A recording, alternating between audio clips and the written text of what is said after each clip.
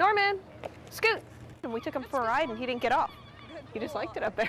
Has he Good scoot. Good job. gotten better at it? I assume Yes, that he he does. I mean, well, does practice make perfect? It does. In the beginning, we had to wheel him, and then he learned to push with one foot, and just recently, he learned to throw up the other foot and coast down the street.